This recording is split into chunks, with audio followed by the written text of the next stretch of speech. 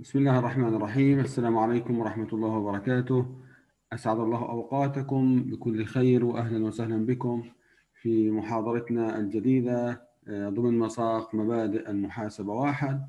سنستكمل اليوم إن شاء الله آه، في الفصل الثاني وهو اللي بتحدث حول تحليل العمليات المالية. ويمكن تحدثنا آه، طلاب الأعزاء سابقا أن هذا الفصل من أهم الفصول لفهم مساق محاسبة واحد. بل دعوني أقول لفهم كل مساقات المحاسبة. تخصص المحاسبة بشكل عام يعتمد على هذا المساق يعتمد على هذا الموضوع وهو تحليل العمليات المالية. وبأتمنى أنه تكونوا أنتم شاهدتوا الفيديوهات السابقة واستوعبتوها. وقمتم بالإجابة على الوظيفة المكلفين فيها وكذلك قمتم بحل أمثلة والتمارين من الكتاب. طبعا بأكرر أن الموضوع بسيط بيحتاج إلى تركيز بيحتاج إلى فهم. من أجل ذلك أنا صراحة يعني اليوم حأشرح برضو في تحليل العمليات المالية. حنعمل شوية مراجعة على المحاضرات السابقة. بالإضافة أنه حنتعرف على كل أنواع الحسابات اللي ممكن تواجهنا في الشركات وكيف نقدر نحدد طبيعة هذا الحساب ونوعه؟ هل هو أصل؟ هل هو التزام؟ هل هو أصل ثابت؟ هل هو أصل متداول؟ هل هو مصروف؟ هل هو إيراد؟ وما إلى ذلك. وأيضا حنحاول إن شاء الله أنه نضرب بالعديد العديد من الأمثلة هذه الحسابات ولازم أنت كطالب بفهمك لتحليل العمليات المالية بل بفهمك للحسابات ومفهوم الحساب. إنك تقدر تتعرف على أي حساب ممكن يمر عليك لاحقا إن شاء الله في حياتك العملية أو في دراستك للمساقات القادمة لأنه بتعرفوا لاحقا حتلاقي في كثير كثير من المساقات المحاسبية وسيترافق مع كل مساق يعني حسابات جديدة. فلازم تكون كطالب محاسبة ودارس محاسبه قادر على تحديد هذا الحساب ومعرفة نوعه عشان تقدر تحلل. لأنه إذا أنت ما قدرت تعرف نوع الحساب يبقى تحليلك بيكون مبني على خطأ وبالتالي النقطة الأساس في تحليل العمليات المالية هو تحديد أطراف هذه العملية المالية يعني تحديد الحسابات اللي تأثرت بالعملية المالية ثم تحديد نوع الحساب هل هو أصل هل هو التزام هل هو مصروف هل هو إيراد هل هو حق ملكية. ومن ثم الموضوع بيكون سهل بنطبق القاعدة اللي بتقول أن الأصول والمصروفات عند الزيادة مدينة وعند النقص دائنة وأن الإيرادات والالتزامات وحقوق الملكية عند الزيادة دائنة وعند النقص مدينة.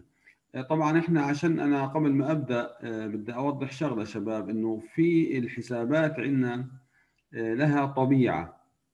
بمعنى إيش يعني طبيعة؟ إحنا أخواننا بشكل عام حاليا حتى في في في حياتنا العملية في ناس سبحان الله طبيعتهم إنهم دائما متفائلين في ناس متشائمين في ناس والله دائما طبيعتهم ان هم والله ميالين للجانب العملي للجانب النظري فكل واحد له طبيعته سبحان الله.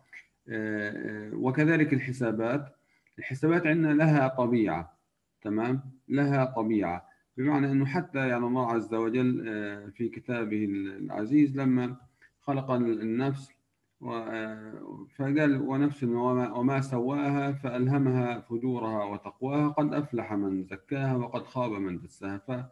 فالنفس بطبيعتها مجبولة على فعل الخير لكن الإنسان بسلوكه بتربيته باختياراته هو اللي بيحدد الطريق اللي بده يختاره وبده يمشي ويسير فيه. إحنا بالنسبة لأنواع الحسابات بنقول إنه الحسابات بطبيعتها بتنقسم إلى نوعين. في طبيعتها مدينة وفي حسابات طبيعتها دائنه إيش يعني طبيعتها يا شباب؟ المقصود بطبيعة الحساب إنه هذا الحساب هذا الحساب في أي لحظة أنا بدي أشوفه وأرصد وأعرف قيمته ورصيده الحقيقي إيش بيكون تمام؟ بمعنى إنه حساب زي حساب الصندوق. هذا الحساب طبيعته إنه أنا في أي لحظة برصد الحساب هذا. بمعنى بفتح الخزنة وبشوف بطلع في الخزنة وبعد المصاري اللي فيها إيش حيكون فيها؟ إما حيكون فيها مصاري فلوس تمام؟ أو يكون فيها صفر. مش حيكون فيها سالب. بمعنى أن الخزنة طبيعتها مدينة. نفس الكلام البضاعة في المخازن. لأن أنا بدي أفتح المخزن أو البركس عند أول حاصل إما ألاقي في المخزن فيه بضائع أو ألاقي صفر وبالتالي طبيعته مدينة. بمعنى إنه يوجد فيه قيمة يوجد فيه رصيد. آه، آه، في المقابل طبعا هذا اخواننا الرصيد لما أحكي إنه أنا عندي صندوق في مصاري من وين اجت؟ ما هي اجت من حساب آخر. اجت من رأس المال أو اجت من بيع بضاعة أو من خلافه. لما لقى المخزن فيه بضاعة ملان من وين اجت البضاعة هذه؟ هذه البضاعة دخلت هذا المخزن آه، من خلال إنه إحنا شريناها نقدا. في المقابل في حسابات طبيعتها دائمه زي حساب رأس المال تمام هل أنت متخيل انه يكون والله واحد مشارك في شركة ويكون شريك فيها آه، ويأخذ فلوس يعني نقول آه تعال اشترك معنا طب قديش بتعطونا عشان أشترك معكم مش مش منطق الموضوع صح؟ هل من المنطق إنه والله أقول تعال يا يا مدحت آه، اشترك معنا بالشركة طب قديش تعطوني؟ رأس مال كيف نعطيك رأس مال؟ أنت عشان تشاركنا في هذه الشركة بدك تحط رأس مال بدك تعطي يا تمام؟ بدك تعطي.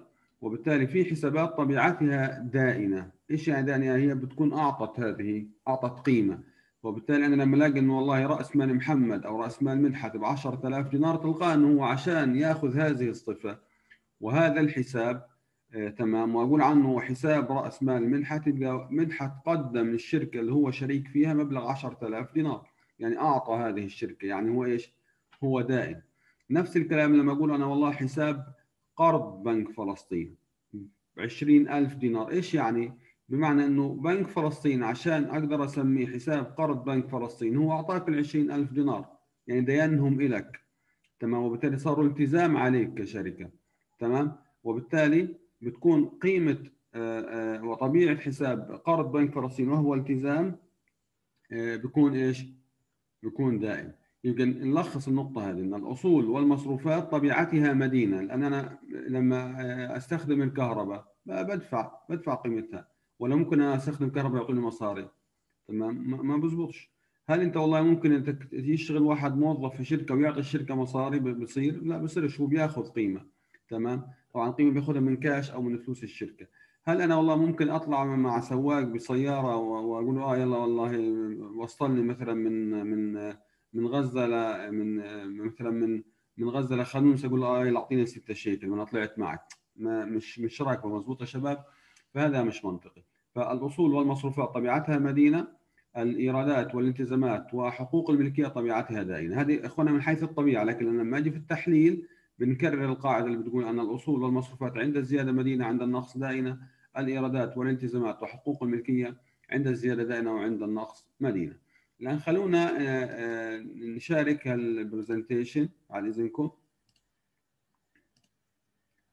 طبعا هذا البرزنتيشن أنا بديت فيه يعني المحاضرات السابقة. بنكرر إنه إحنا نحلل العمليات المالية وفق آه، آه، مفهوم معادلة الميزانية.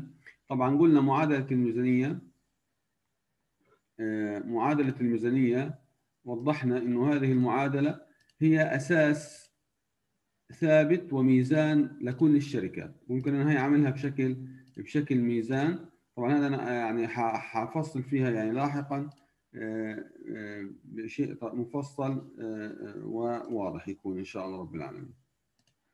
الآن قلنا إنه معادلة الميزانية هذه هي ميزان لكل الشركات لكل المؤسسات لكل ال ال ال حتى في الدوائر الحكومية حتى في المهن الحرة كمكتب محاسبة ومكتب هندسة وعيادة طبيب يجب أن تبقى هذه المعادلة متحققة حتى في على مستوى الشخص تمام؟ على مستوى الإنسان. الشخص آه، أي واحد آه، من الناس بيمتلك والله مئة ألف دينار يبقى معناه أنه في عنده حق ملكية هو مدخر. من المال زائد الديون اللي عليه تساوي مئة ألف دينار لكن يكون عنده أصول مئة ألف وما هو ادخره أو ادخاراته 70 يبقى في عنده مشكلة. فأنا عندي معادلة الميزانية. الأصول لازم تساوي الالتزامات زائد حقوق الملكية. الأصول بأنواعها المختلفة. مئة ألف لازم تساوي الالتزامات وحقوق الملكية 100000 لأن لو اختل آه، زي ما حكينا قبل هيك اختل آه، آه، أي حساب من هذه الحسابات تمام؟ وانحذف والله هان عندي حساب المباني. فيش صار مباني؟ بنلاقي إنه على طول إيش بيصير عندي؟ أن الميزان يختل. على طول الميزان صار ماله شباب؟ صار الميزان مختل. فبالتالي نفس الكلام لازم يكون أيضا في الجانب الآخر. لو أنا عندي والله القرض زي ما حكينا قبل هيك فيش قرض راح القرض يبقى أيضا الميزان اختل. تمام؟ الكفة صارت راجحه لجهه الأصول. بمعنى إحنا عندنا أصول ب 100000 لا تساوي قيمة الالتزامات وحقوق الملكية. فلازم تبقى هذه المعادلة ثابتة بشكل دائم وبشكل مستمر على مدار السنة وعلى مدار حياة المشروع أو الشركة أو خلافه بنذكر أيضا بالمعادلة الميزانية اللي إحنا بنحلل من خلالها اللي قلنا فيها أن الأصول الأصول والمصروفات عند الزيادة هي باللون الأخضر مدين عند النقص دائن الالتزامات والإيرادات وحقوق الملكية آه عند الزيادة دائن وعند النقص مدين. يعني عكس بعض شباب يعني عكس بعض يا شباب. والموضوع موضوع سهل جدا. الأصول والمصروفات عند الزيادة مدين عند النقص دائن. الالتزامات والإيرادات وحقوق الملكية عند الزيادة دائن وعند النقص مدين وهذه قاعدة سهلة لازم أنت تكون عارفها وفهمها كطالب كطالب محاسبة. طب الآن السؤال اللي بيطرح نفسه طب يا أستاذ إيش هي الأصول؟ وإيش هي المصروفات؟ وإحنا هذا كلام شرحناه الدور اللي فات وقلنا يا شباب إنه هذا أحد أنواع الحسابات وتصنيفاتها إنه بتصنف الحسابات لخمس أنواع.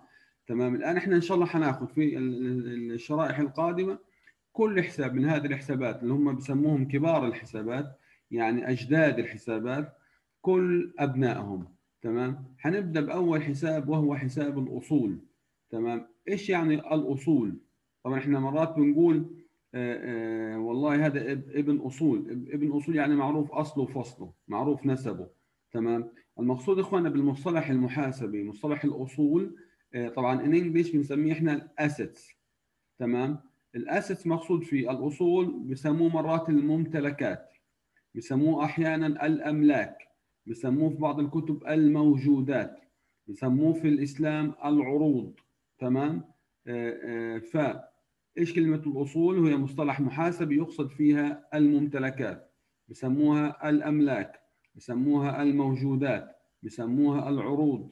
في ناس بتسمى فيهم المنافع أو مفهومها المنافع. ما هي الأصول؟ أنت تطلع على الأمثلة. طبعا الأصول هذا إحنا نوضح بتنقسم إلى قسمين. في أصول بنسميها أصول غير متداولة أو تسمى أصول ثابتة بسموها ال non-current assets أو ال fixed assets non-current assets أو fixed assets هذه الأصول وهذه الحسابات لما تشوف أمثلتها بتعرفها. زي ما بيقولوا بالمثال يتضح المقال. أنا قاعد بقول لك المباني تمام؟ المباني. إيش يعني المباني؟ بمعنى مباني الشركة. أنت الآن لما تحكي عن شركة بنك فلسطين هل بنك فلسطين عنده مباني ولا ما عنده مباني؟ طبعا عنده مباني. وإحنا هل نقصد فيها المباني المملوكة المباني المملوكة للشركة؟ تمام؟ لما أجي أقول أنا عندي شركة جوال بروح على شركة جوال بشوف المعارض بتاعتها الحلوة والمباني الفخمة.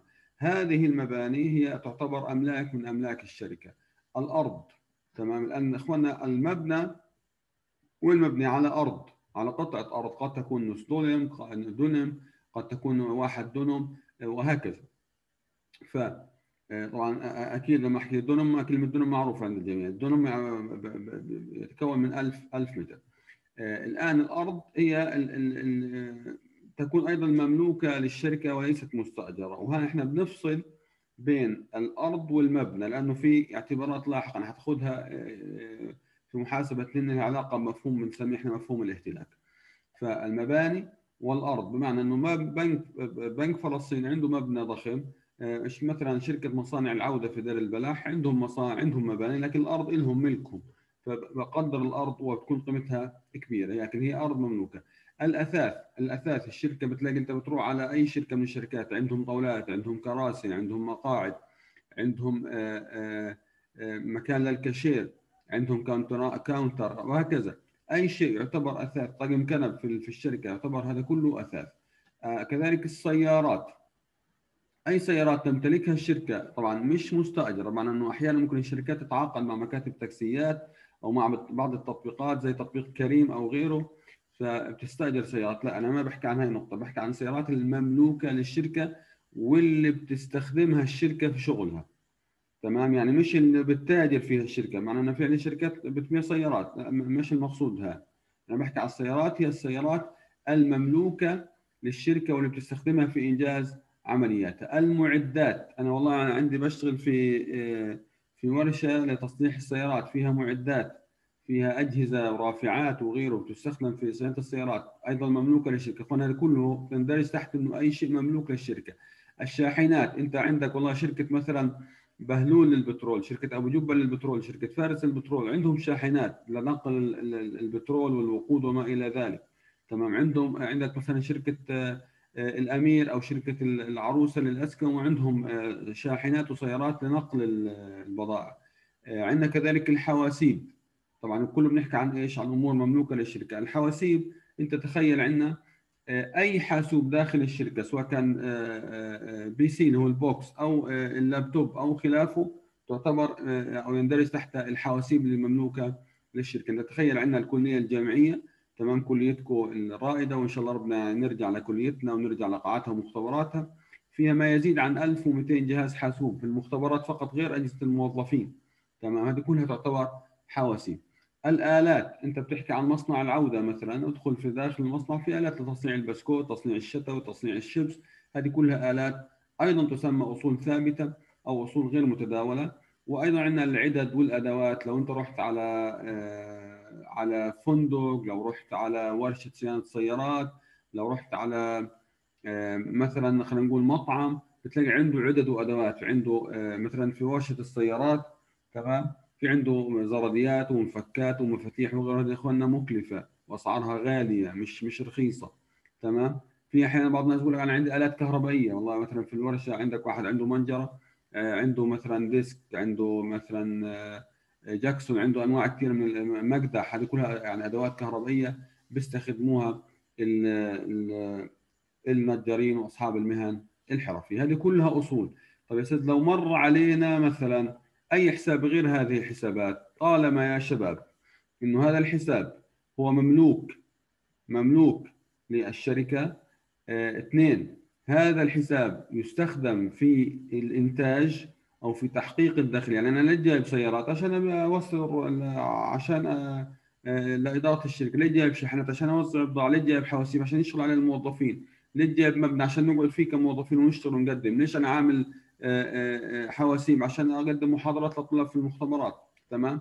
فيكون مملوك يكون في منه منفعه على الشركة ويحقق الدخل تمام؟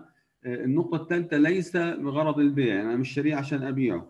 إذا تحققت الشروط هذه هذا يعتبر أصل ثابت. زي والله مثلا أنت تخيل عندك والله شركة مثلا تشتغل في شركة طيران مثلا. عندها الطائرات تعتبر أصول ثابتة تمام؟ عندها الطيارات تعتبر أصول ثابتة.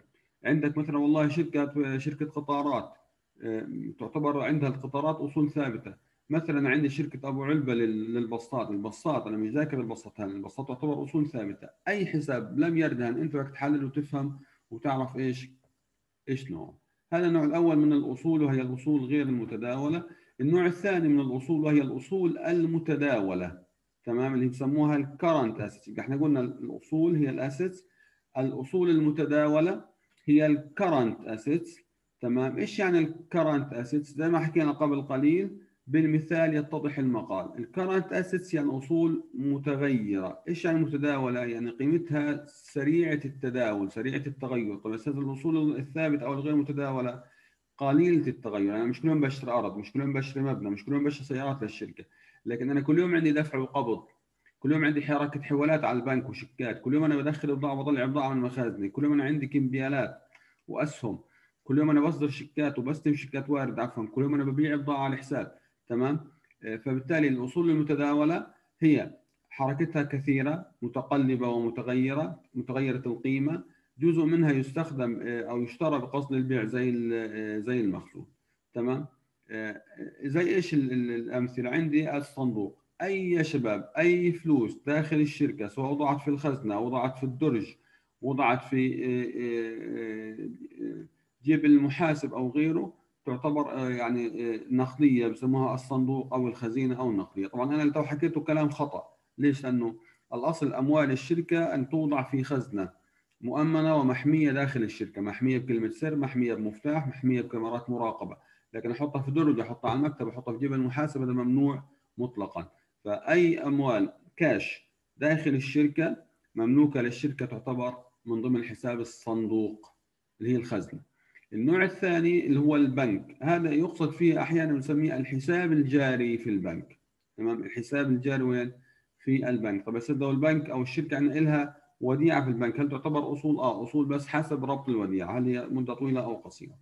فالبنك هو الحساب الجاري في البنك. مرات بكون الشركة حساب في بنك فلسطين في بنك الأردن في بنك آه، القدس في بنك الإسلام العربي. يعني وبكون للشركة في نفس البنك نفسه ثلاث أربع حسابات حساب بنك فلسطين دينار حساب بنك فلسطين شيكل حساب بنك فلسطين دولار حساب بنك فلسطين يورو. عادي اسمه كله بنك. تمام؟ طب يا أستاذ كلهم مسميهم اسم واحد بنك؟ لا بنسمي الاسم آه، الحساب باسم البنك. يعني حساب بنك فلسطين شيكل هذا اسم حساب. حساب بنك فلسطين دولار. تمام؟ حساب بنك القدس آه، يورو وهكذا. الآن عندي حساب الثالث من ضمن الأصول المتداولة ننساش هو حساب المخزون تمام بسموه الإنفنتوري. المخزون يا شباب هو البضاعة داخل المخزن تمام؟ البضائع الموجودة عندي داخل المخزن. أنا والله شريت 100 طن بضاعة آه، آه، بعت منها 70 كم طن ضل في المخزن؟ 30 هذه أصولي أملاكي. طبعا أنا اشتريها عشان أبيعها. تمام؟ عندي أيضا الأوراق المالية. المقصود في الأوراق المالية إن أنا والله معي مثلا 5000 دينار زيادة في الشركة سيولة فرحت شريت فيهم أسهم وهذه إن شاء الله حنشرحها لاحقا. رحت شريت فيهم أسهم من أسهم مثلا شركة جوال أو من أسهم مثلا بنك فلسطين فورقة الورقة المالية أو السهم هو حصة في شركة أخرى. يعني أنت بتصير شريك في شركة أخرى وبتاخذ فيها أسهم وبتاخذ طبعا أرباح. أوراق القبض هي الكمبيالات. يعني أنا والله بعت بضاعة لواحد ب 3000 دينار قال لي والله معيش كاش طيب يا عمي شيكات لا معيش دفتر شيكات قال لك بعطيك كمبياله إيش يعني كمبياله أنا بدي أتعهد لك أدفع لك المبلغ بعد ست شهور. هذا اسمه ورق القبض لأنه ورق القبض إلي أنا اللي كشركة. فهي أصلا متداول الشيكات الواردة أنا والله أخذت واحد من واحد قلت له بدي كاش قال لي معيش أعطاني شيك وارد. وارد طبعا بالنسبة لي قال لي الشيك هذا بتصرفه بعد ثلاث شهور. تمام؟ وبالتالي هل الشيك كاش؟ لا مش كاش. هو عبارة عن ورقة لازم أقدمها للبنك بعد ثلاث شهور عشان آخذ إيش؟ الفلوس. فيعتبر أصل متداول. والمدينون المدينون مرات بنسميهم العملاء مرات بنسميهم الزبائن تمام؟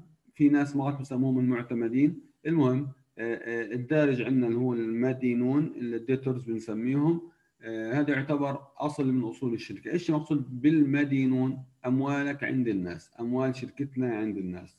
طب ليش إحنا بدنا أموال من عند الناس؟ عشان إنت بعت للناس بضاعة على حساب. تمام؟ أو أعطيت الناس سلف.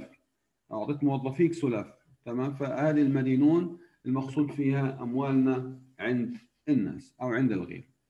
تمام؟ هذا النوع الأول من الحسابات. النوع الثاني من الحسابات هي حسابات الالتزامات. حسابات شو؟ حسابات الالتزامات. بسموها ال liabilities تمام؟ أو ناس بسموها الديون. تمام؟ طبعا في كلمة خصوم بتستخدم بس كلمة خصوم بتشمل الالتزامات وحقوق الملكية. يعني بتشمل الالتزامات اللي هي الخصوم تشمل الخصوم التزامات الشركة تجاه الغير. الغير سواء كان ناس غرباء أو اللي هو ملاك الشركة. خلينا إحنا نأخذ كلمة الالتزامات. هي الالتزامات هي الديون. تمام؟ الديون. طيب إيش أنواع الديون؟ تنقسم لنوعين الالتزامات، في التزامات متداولة، إيش يعني متداولة يا أستاذ؟ ال current liabilities يعني يجب أن يتم تسديدها خلال سنة. تمام طيب أستاذ لو كانت ثلاث سنين لا بتبطل المتداولة بصير شيء ثاني، عندنا حنشوف. فلازم تكون الالتزامات لا تزيد مدتها عن سنة تسمى التزامات متداولة أو بسموها التزامات قصيرة الأجل. تمام؟ قصيرة الأجل يعني short-term liabilities. لأن زي عندي أنا القرض قصير الأجل أنا والله أخذت قرض لست شهور قرض لسنة من أي بنك من البنوك البنك بيعطيك يقول لك تسد لي خلال سنة أو بعد سنة في عندي أيضا حساب الدائنون اشتريت من واحد أنا والله سيارة على حساب. شريت بضاعة من واحد فبسميه دائنون محمد دائنون الهدى بسميه باسمه دائنون العودة. تمام؟ أوراق الدفع. يعني إيش؟ يعني الكمبيالة. أنا رحت شريت من واحد لابتوب. طب معيش أدفع؟ قلت له بعطيك كمبيالة.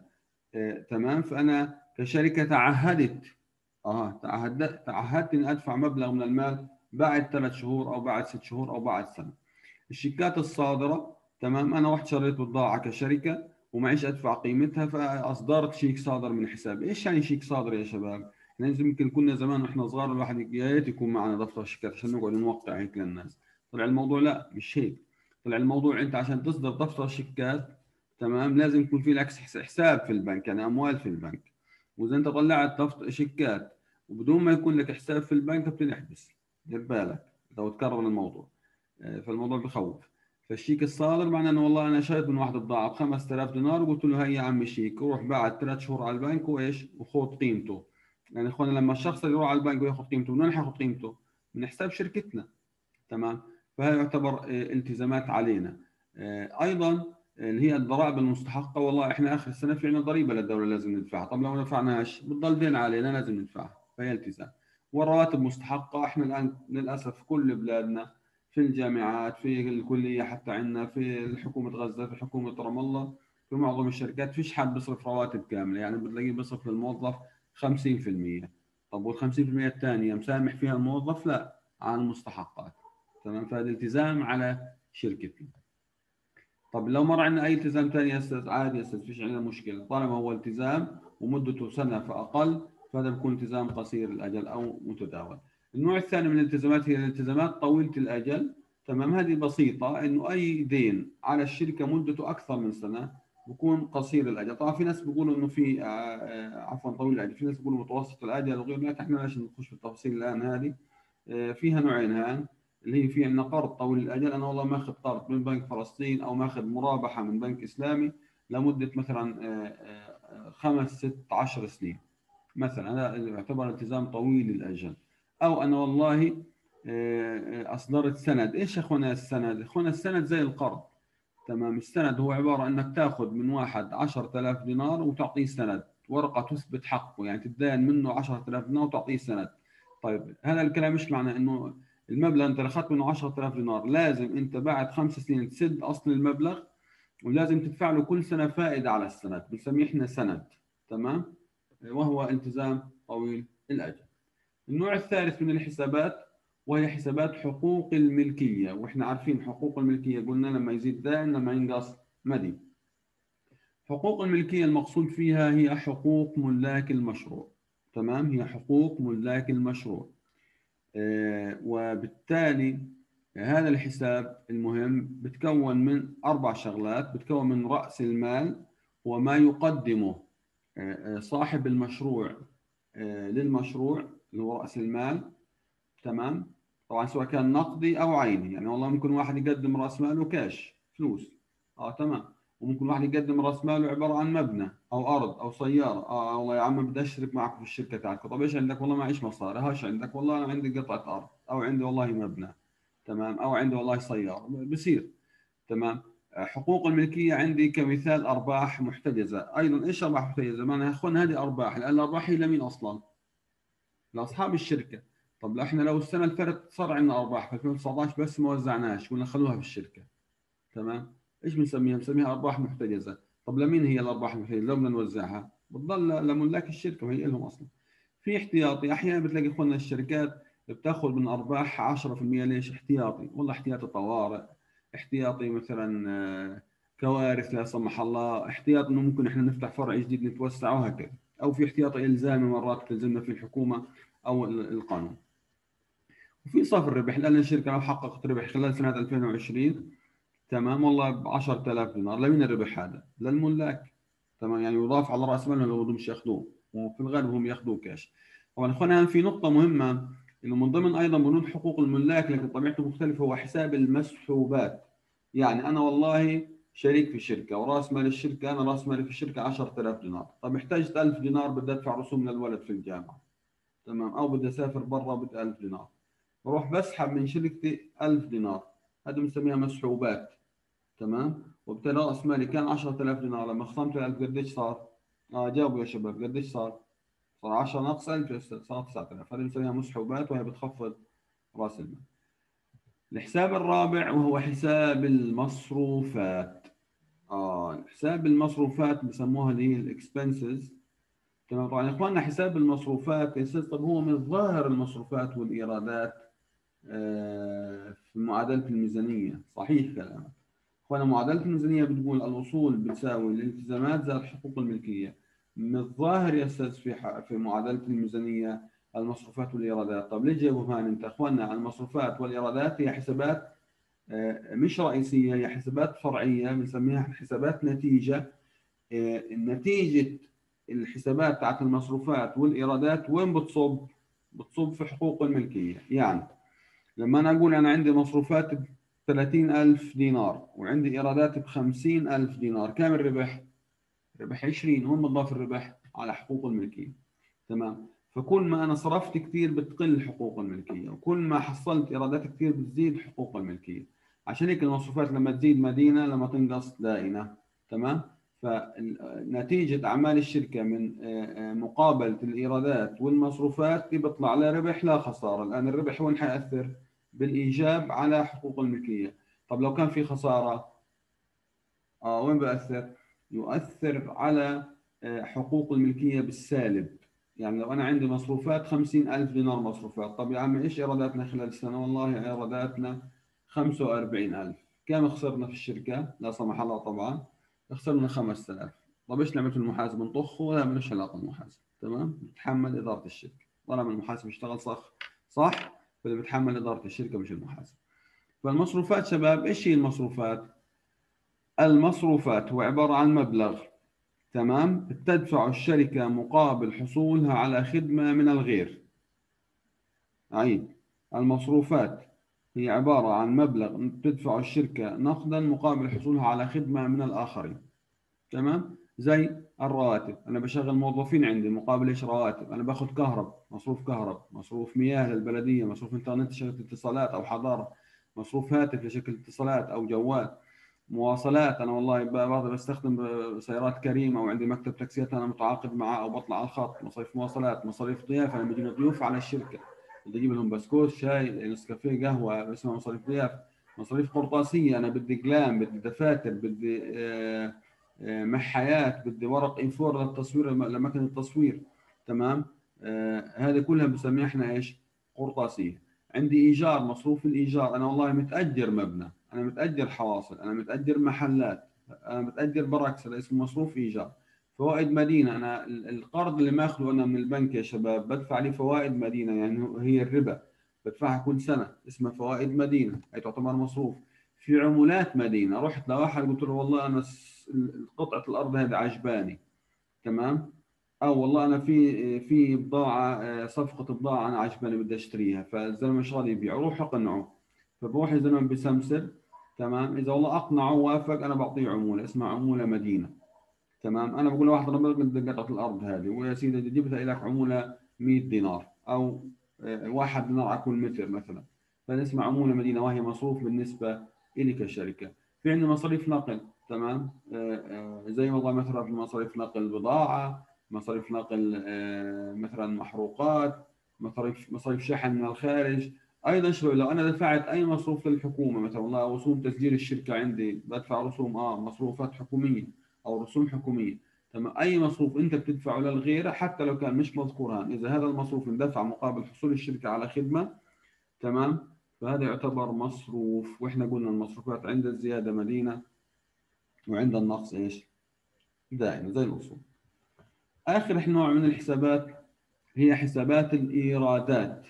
تمام. حسابات الإيرادات. طبعا اخوانا أنا هام بذكر في كل الحسابات أنا بذكر الحسابات الرئيسية.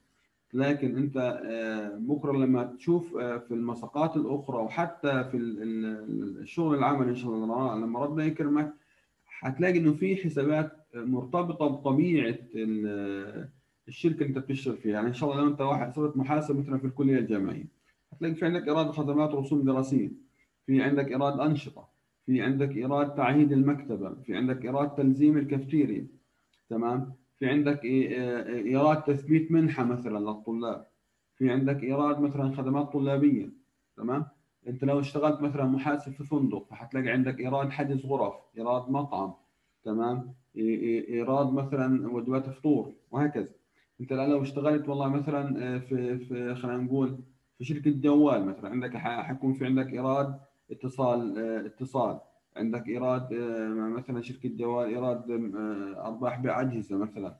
في عندك من شركة جوال مثلا كروت آه، دفع مسبق في عندك إيرادات الفواتير وهكذا. في عندك إيرادات مثلا لتاجير بعض الأماكن وهكذا من الإيرادات. فاحيانا بيصير عندك تغير في اسم الحسابات حسب طبيعة عمل الشركة وحسب شغله مثلا في لو اشتغلت عند طبيب في مكتب بيقول لك إيراد كشفية إيراد عمليات جراحية إيراد استشارات طبية تمام؟ آه، آه، مثلا آه، إيراد مثلا اجراء عمليات جراحية في المستشفى إيراد عمليات جراحية في في جسمه عندك وهكذا.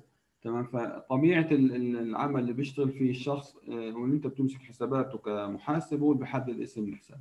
المهم الإيرادات اللي هي اللي بسموها الريفينيو بتنقسم إلى خمس أنواع. في عندي على خمس أمثلة عفوا.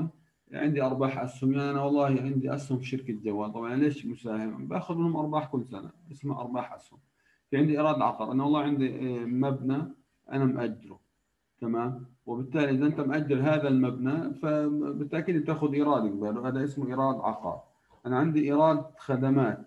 إيراد خدمات. زي إيش؟ أنا مثلا حكيت قبل قليل خدمات جوال خدمات رسوم دراسية آه، أي خدمات أنت بتقدمها بتحصل مقابلها على إيراد.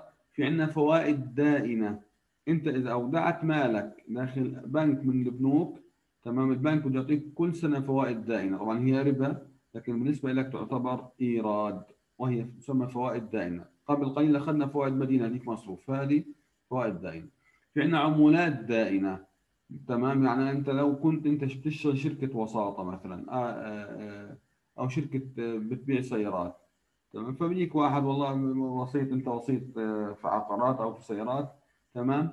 آه، دورك انك آه، تسوق الأرض هذه أو السيارة هذه. اذا سوقتها بتاخذ عمولة دائمه إيراد بالنسبة لك طيب أستاذ مر معنا أي نوع آخر من الايراد أي مبلغ بتحصل عليه الشركة مقابل تقديم خدمة للآخرين هذا يعتبر إيراد. تمام؟ الإيرادات هو مبلغ تحصل عليه الشركة مقابل تقديم خدمات للآخرين. تمام؟ هذا يسمى إيراد وأي مثال من الإيرادات يندرج تحت هذا الحساب. بنأكد مرة الإيرادات عند الزيادة دائنة عند النقص مدينة. القاعدة اللي بتقول كلها أن الأصول والمصروفات عند الزيادة مدينة عند النقص دائنة الالتزامات وحقوق الملكية عند آه، الزيادة دائنة وعند النقص مدينة. هيك إحنا بنكون مرينا على معادلة الميزانية تعرفنا على مفهوم المعادلة تعرفنا كيف نحلل وتعرفنا واستعرضنا كل أنواع الحسابات. تمام؟ بالشكل طبعا الأساسي. تعرفنا على كل أنواع الحسابات اللي ممكن تواجهك بالشكل الأساسي. المهم جدا إنك تفهم هذه النقطة.